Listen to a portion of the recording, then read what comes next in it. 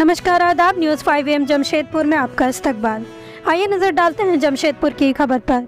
परसुडी थाना अंतर्गत मुख्य सड़क स्थित कल्पना मेडिकल के गोदाम में अचानक आग लग गई। इस घटना में गोदाम में मौजूद पुराने बिल एवं कार्टून जल गए। आग लगने से अफरा तफरी मच गई। देखते ही देखते पूरी बिल्डिंग में धुआँ भर गया। दुकानदारों ने खुद ही पहले आग बुझाने का प्रयास किया, लेकिन असफल रहे।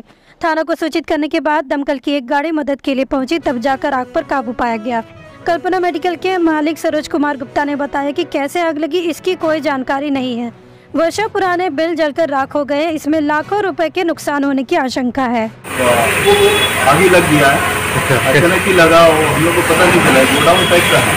पुराना बिल और गत्ता जितना है हम लोग यहाँ कैसे आग लगा? कुछ हम लोग को कुछ मालूम ही नहीं चला वहाँ से कैसे हुआ? हो सकता है शॉर्ट सर्किट हो गया होगा। कितना नुकसान नुकसान है? नुकसान उसका जितना बिल है? हम लोग का बिल रखना ज़रूरी होता है फाइव ईयर्स का। फाइव ईयर्स का बिल रखना ज़रूरी होगी हम।